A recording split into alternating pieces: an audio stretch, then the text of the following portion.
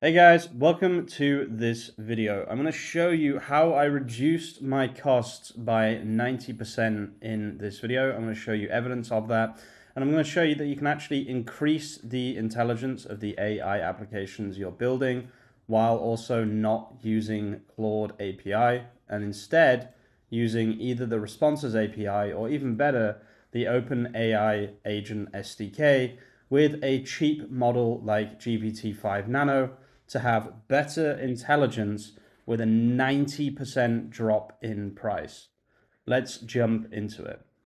So the first thing to show you guys is obviously the cost of our usage of Anthropic. This is currently what powers SEO Grove. If you don't know, SEO Grove is a project that I've been working on for about five, six months now, and it's really draining a lot of money. There's nothing else that this can be. If I actually just go on API key and sort by cost, you'll see that it's called Why Not Work Grove. That's pretty standard by me. Uh, basically, that was me calling it Why Are You Not Working Grove? And that's kind of as much evidence as I need that this is actually what's powering Grove. Before continuing with the video, just a quick word from our sponsor today, me.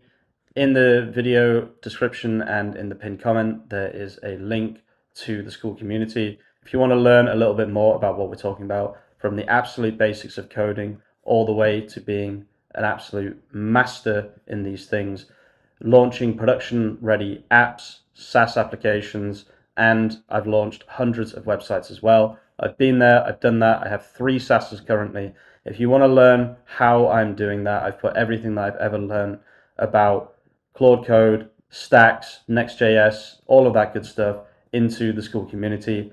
Thanks for your attention. Let's get back to the main content. Now, just to be clear, this is still not that expensive, to be honest with you. I know it looks like a lot, but this is powering 85 um, stores at the same time. So obviously you would expect the costs to be fairly high. Now you can see these are all Claude Sonnet 4.5 pretty much, which is actually what Grove uses as well. And now I'm going to show you a few comparisons. So the first thing is convex. And we can actually see, for example, um, yeah, we had huge usage on December the 18th. What actually happened was I basically left it running all night long, right? Um, and I didn't even have it set up properly, so it was doing 100 stores over and over. Now, this should have been an absolutely massive cost to us, right?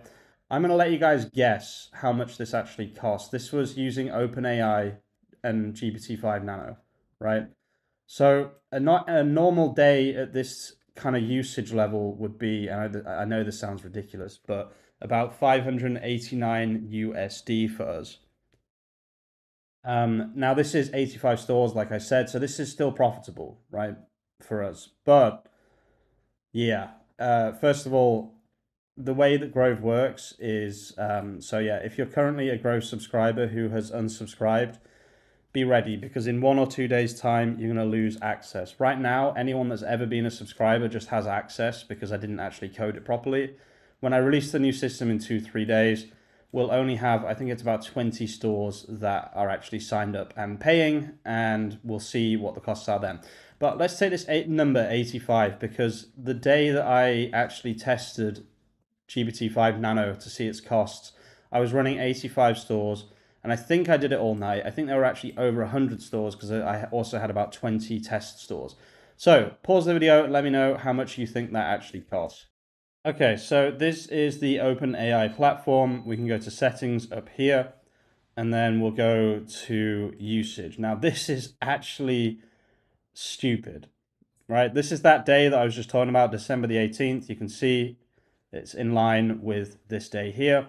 This was when I accidentally just let it let it rip, basically. It was just going absolutely crazy and doing so much stuff, right? We haven't even spent a hundred dollars in December. That's a joke. That's an actual joke. Look at this. December the 18th cost us $45. And if you think about it, this is directly comparable to this number here, which was $90, right? Actually, no, not even. It's more comparable to like this number, for example. So effectively, let's say I reckon it costs us about two hundred dollars a day on a normal day, right? On a normal day now for us, it's more like twenty dollars, right? So it's it's it's a huge, huge saving. And you might think, yeah, but you're using a worse model, so you know you're using GPT-5 Nano. If you don't know, GPT-5 Nano is pretty bad. Uh, it's nothing compared to Sonnet 4.5, right? But because I'm using the agent SDK, right? This, this here, right? I'm using the TypeScript agent SDK. I've actually increased the level of intelligence while decreasing the cost by, I think, 90 to 95%, which is absolutely absurd. And it's extremely exciting. When I logged in yesterday, like I was expecting this number on December the 18th. I was expecting $200, $300 minimum. The craziest part about this is most of the cost is actually here in web searches. If you don't know, 1,000 web searches is $25, I think, or it might be, it's hard to say. I don't know if it's $10 or $25. I'm not actually sure how it works because it's uh, web search preview or it's not web search preview. It's kind of hard to give you an exact answer on how much it costs. But the majority of the cost here actually comes from web searches. Obviously, a lot of it also comes from, oh, it looks like it's only $10. Okay, nice. So yeah, not the majority, but a lot of this comes from web searches, right? So if we weren't even using web searches, which I, I will say web searches are obviously very, very useful, would be spending even less. So our bill will go from, you know, this is what December so far is fucking almost four grand, which is absolutely mental. I used to think this was Claude Code, but it's actually not. If I go on Claude Code, you can see that, that it's not actually. Some of it might be, some of it will be from uh, Claude Sonnet 4.5, 1 million output tokens, which I was using for a little while. Yeah, 600 bucks. So only 600 bucks of that is Claude Code. The other 3,000 is Grove, right? Grove costs.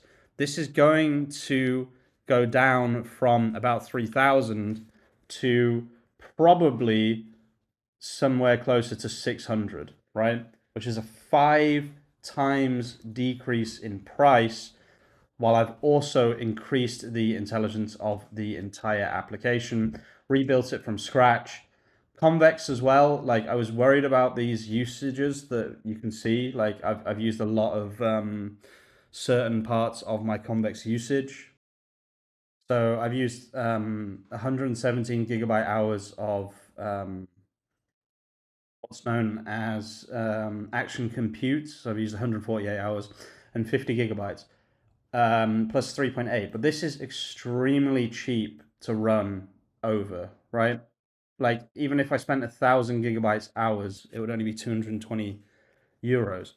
So this whole setup is extremely, extremely cost effective. I would be surprised. Right now, our costs are probably about, I would say, 6,000 a month for Grove. I would say I would be surprised if they were going to be a thousand a month um, when I make the change over to the new system in a couple of days' time when I've finished absolutely everything. And then on top of that, because I just rebuilt the entire system from scratch and I know every single little piece in there, I can add something like a social media calendar in seconds. This I literally prompted this, went to bed, woke up, and it was done. Right. So now that it even has a fucking social media calendar in it, because I took the time to rebuild every single part of this system from scratch using a cheaper system. So this still uses OpenAI Agent SDK to do certain things and then it uses Nano Banana to generate the images. Obviously, because why would you use anything except Nano Banana for generating images? And yeah, this is the final result. So now it even does social media for people. So yeah, I just want to talk about this quickly, guys. Don't just use Claude because it's intelligent. Use something like an agent SDK. It doesn't have to be OpenAI's.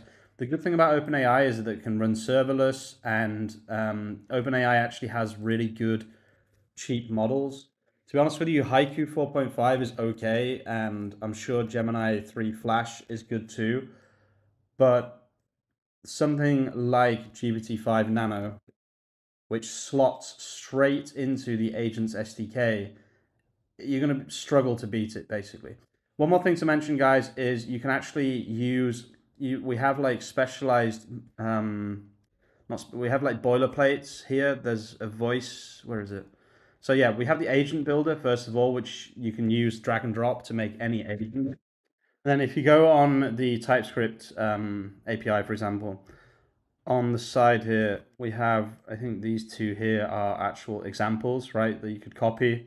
So you could grab these, copy them in, give this example to Claude Code in order to make what you want to make.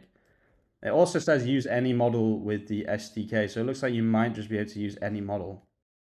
Yeah, it looks like you can use Anthropic. So that's very, very, I didn't even know that. So that's extremely interesting. Connect real-time agents to Twilio. There's all of this amazing stuff that you can do. Guys, I'm going to leave the video there. I just wanted to make this video quickly because when I first started building kind of my agentic systems or my kind of, you know, workflow systems, I always used Claude. But I just realized like I'm, I'm, I'm bleeding money here. So why not just try something else? And yeah, the, the proof is in the pudding, as we say. Thanks for watching, guys. If you're watching all the way to the end of the video, you're an absolute legend. I'll see you very soon with some more content. Peace out.